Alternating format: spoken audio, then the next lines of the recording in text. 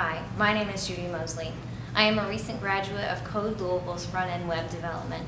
My project showcases a house that's for sale. Let's take a look. My client requested a site that was clean but delightful. Um, I've known this client for many years and I know her tastes. Um, I know who she is essentially. So it was it was my my joy to to showcase her house that she's selling currently.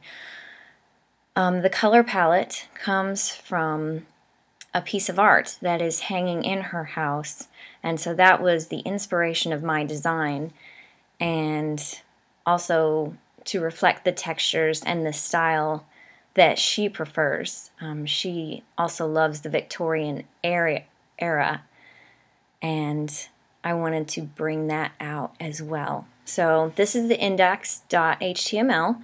Um, I wanted it to be a site that um, just felt welcoming, that felt like you wanted to be there, you wanted to step into. So the theme being your home. Um, so you click on that, and that is the doorway to the rest of the site. Um, this is her house that's for sale. Um, this is the About page that gives a description of her house. It's actually two houses on a piece of land. Um, I've been there myself many times and it's delightful. Um, just the many things that it has to offer. So, um, yeah, let's continue checking it out. So I have an about page, I have a contact page.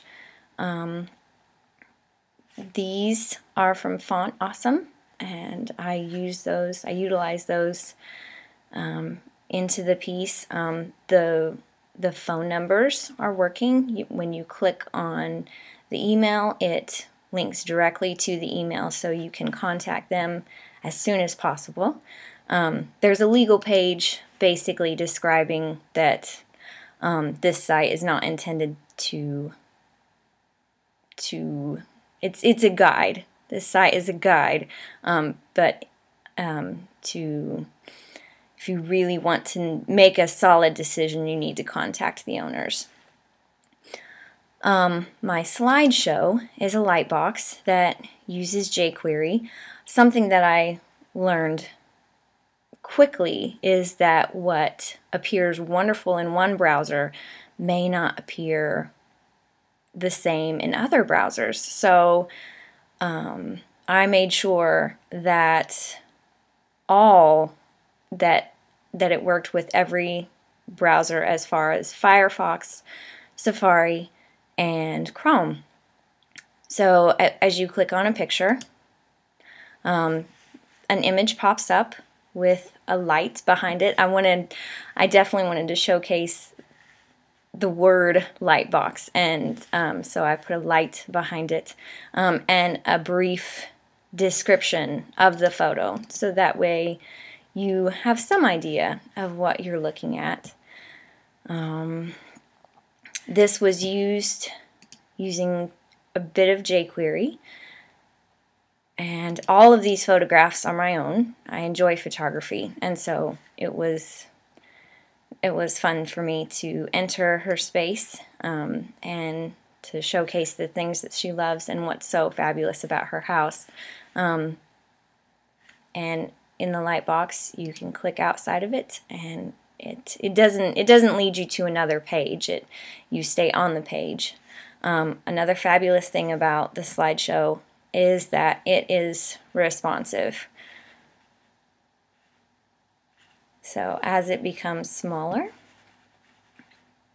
um, you can still see the pictures, but I chose not to use the light box um, simply because it felt too distracting and um, the centering wasn't quite working for me. So, so I removed the light box. Um, and as you can see with the different views, the site changes itself.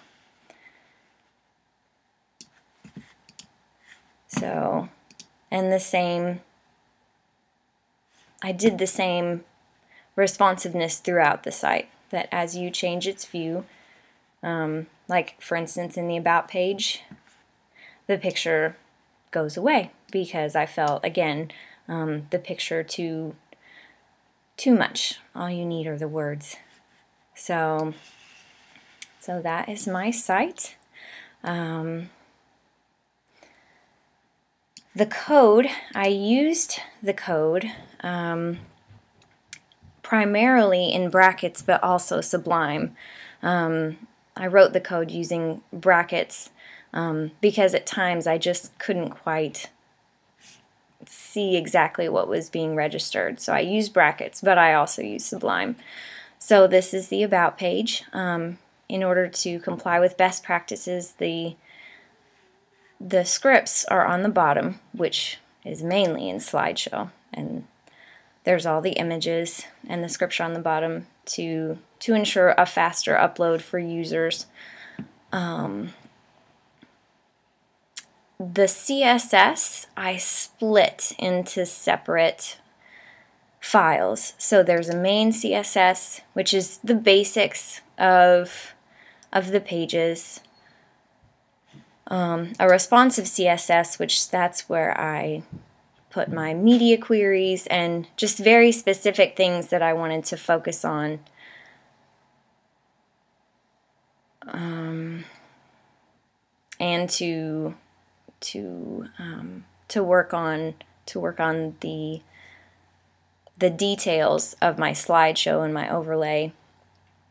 And then the style which that's that's the colors that's um, that's where, where where most of the the styles and positioning happen. Um, this is my JavaScript. This is this is my app.js. And it's just a very basic light box. The fun thing about Treehouse is that as I went through the course, I would um, a course would would come along, and this is actually comes straight from the course, and so I used it to to showcase my website and my lightbox to to enhance the photos and give the user a more um, a more functional but clean way to view the, the images.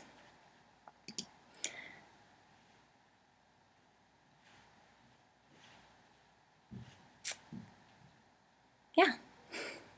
So this is this is my project and it was so much fun to do.